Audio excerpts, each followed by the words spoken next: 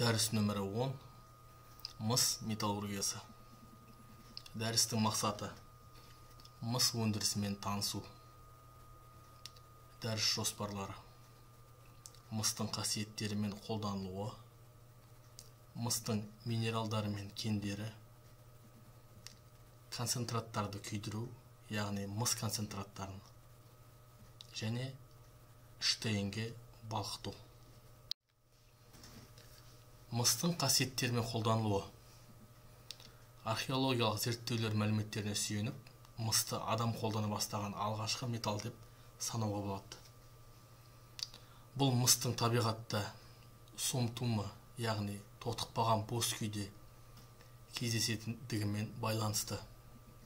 Екіншіден мыс жақсы солғыштық пен пластикалық ие бола отырып оңай өңделеді. Сонымен қатар мыс жоғары беріктікке ие.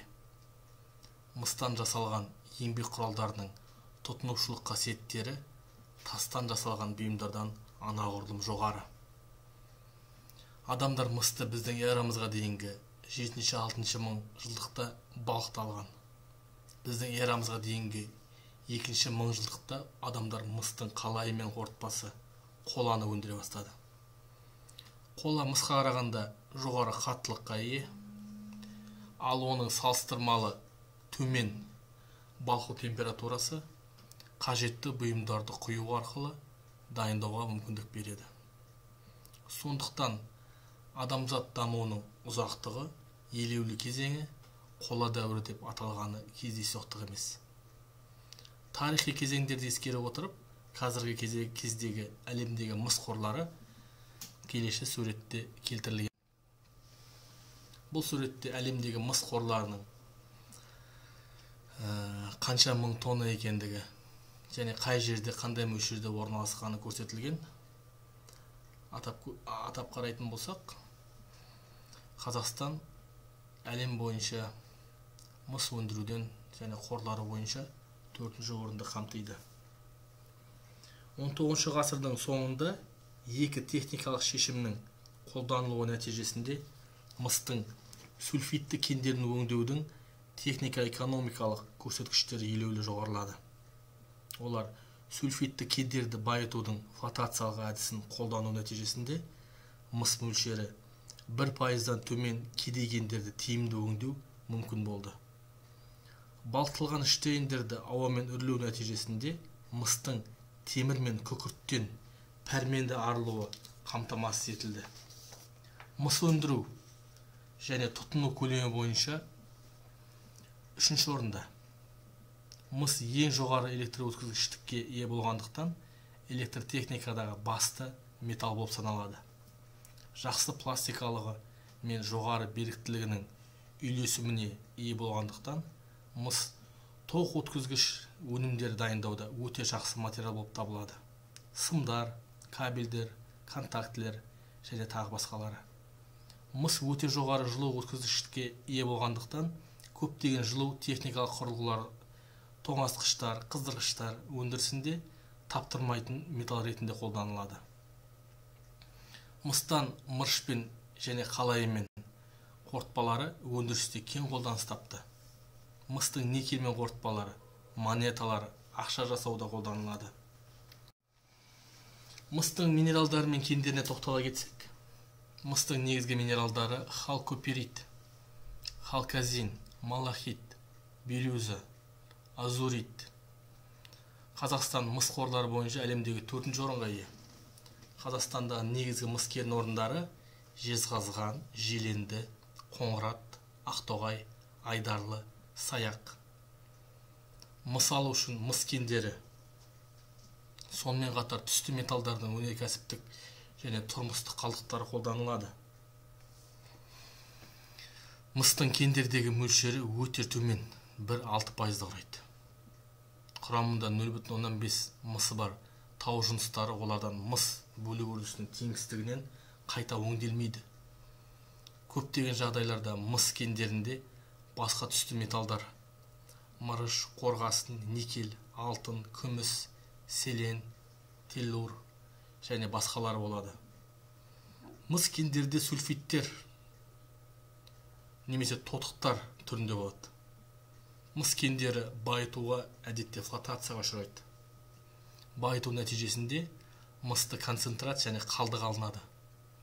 Кендерді байытуда мыс концентратымен қатар басқа да концентраттар мысалы мырыш қорғасын перитті және басқалары алынады.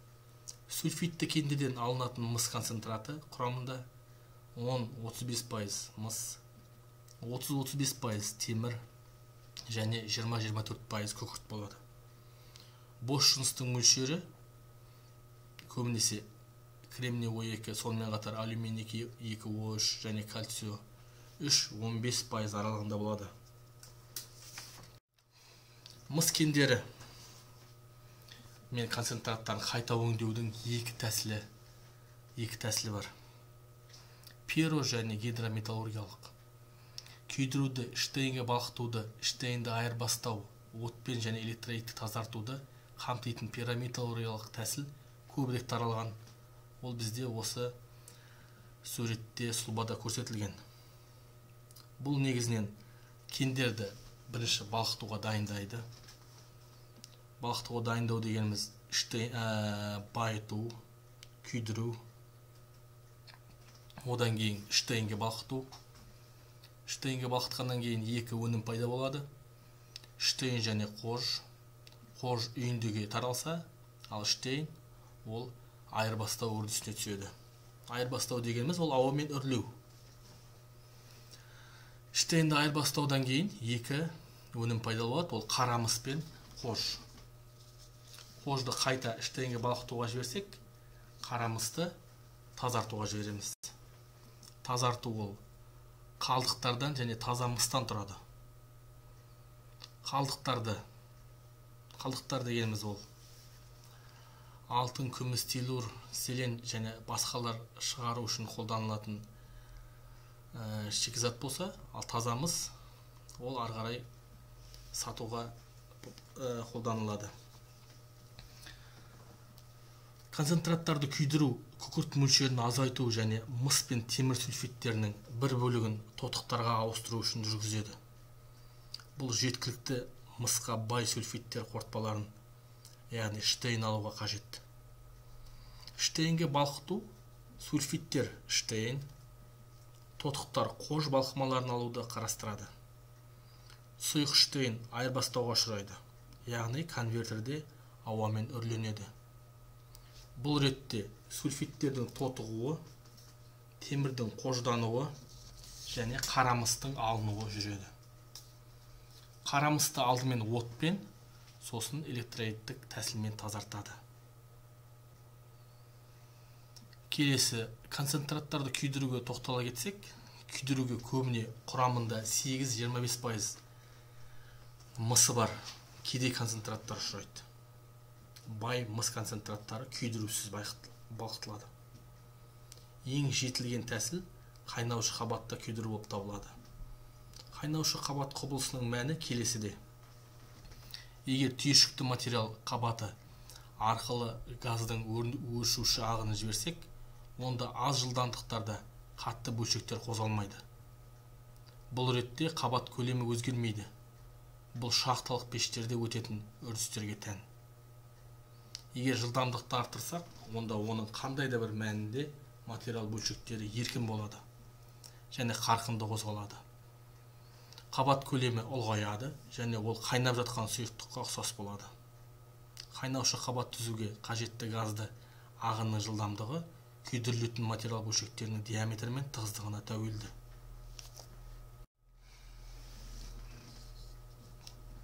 Штейнге балқыту ол шағылдыру және электрлік пештерді штейнге балқыту деп аталады. Шағылдыру пештерінде сонымен қатар пештердің басқа түрлерінде мыс концентраттарын штейнге балқытудың негізгі мақсаты екі сұйық өнімді штейнмен қождала отырып құрам балқыту болып табылады.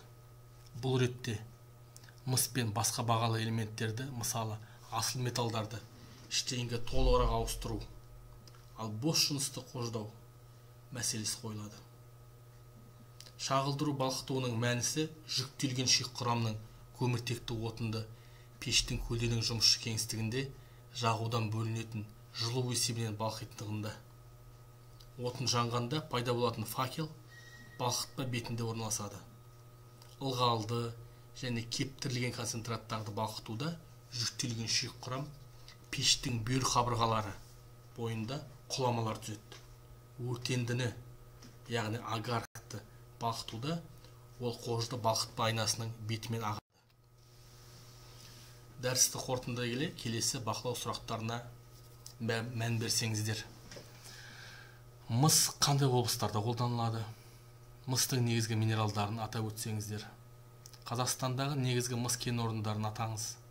Мысты кен құрамынан бөліп алудың әдістерін атаңыз. Мыс кендері қандай әдістермен байытылады? Штейн дегеніміз не? Мыс кендерін штейнге балқыту мен конвертерлеудің негізгі үрдістері мен реакцияларын атаңыз. Мысты алуға арналған пирометаллургиялық әдісті сипаттап беріңіз. Қайнаған қабаттағы күйдірудің маңызы неде? Күйдіруге арналған пеш қандай түрде болады? Шашыраңқы пештерде балқытудың негізгі мақсаттарын атаңыз. Шашыраңқы пештерде балқыту механизмі қандай болады? Шашыраңқы пеш нелерден тұрады? Мыс кендерінің шахталық балқытудың ерекшелігі неде мыс күкіртті балқыманың сипаттамасы болып не саналады? Мыс шейіндерінің конвертерлеу әдісін сипаттап беріңіз. Электрлік тазартудың мәні неде деген сұрақтар осы дәрісті қамтиды. Қолданылған әдебиеттерге келетін болсақ бес әдебиет көрсетілген. Ол ә, шойын металлургиясы ә, болат металлургиясы және оттекті конвертерлік балқытудың жаңа үрдістері арналған әдебиеттер? Бұл әдебиеттерді қосымша оқи отыра дәрісті тол толықтай ашып қамти аласыздар. Тыңдағаныңыздарыңызға рахмет.